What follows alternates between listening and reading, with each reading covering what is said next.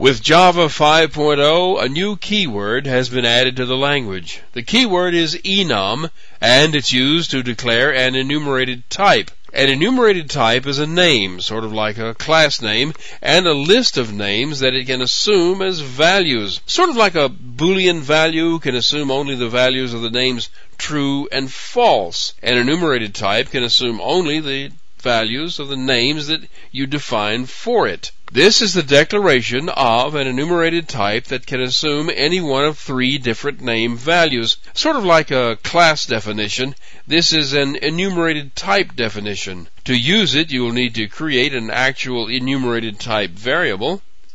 Here, the variable named wall is declared as an enumerated variable of the type hue. You can assign it a value like this.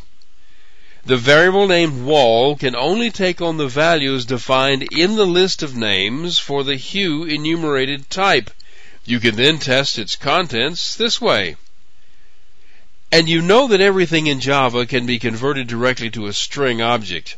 That's true of enumerated type variables also. They will convert to the name of the item to which they are set, just like a Boolean variable converts to either the words true or false. There's really not that much to demonstrate because basic enums are pretty simple, but here's a program that shows you how to use their simple form.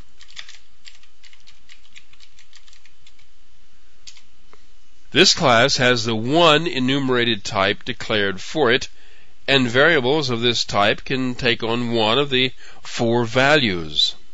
Here are two reference declarations of the type sound. One is named truck and the other is named song. With these two statements, the value of each of the enumerated variables is displayed. Here you see that the value of the enumerated object can be tested for its contents by being compared against the value name.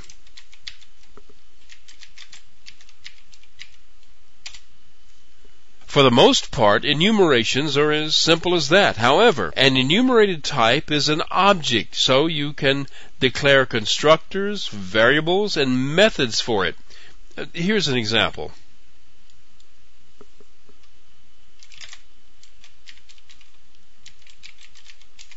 In this example, the enumerated type definition looks very much like an inner class definition, and it acts like one too.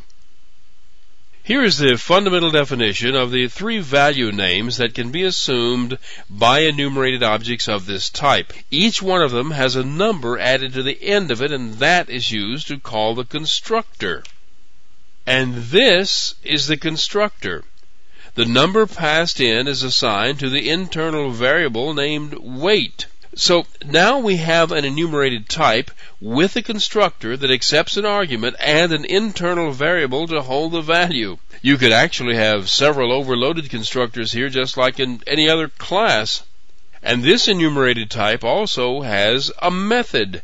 You can put as many methods as you need in here, but this one is just here to return the weight value.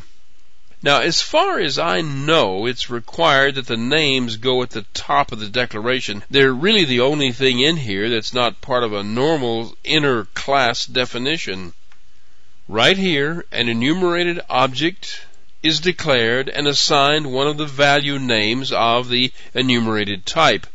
That causes a call to the constructor with the values that are preset for this name. There are no arguments supplied with this reference. This display line shows how the contents of the enumerated object can be extracted.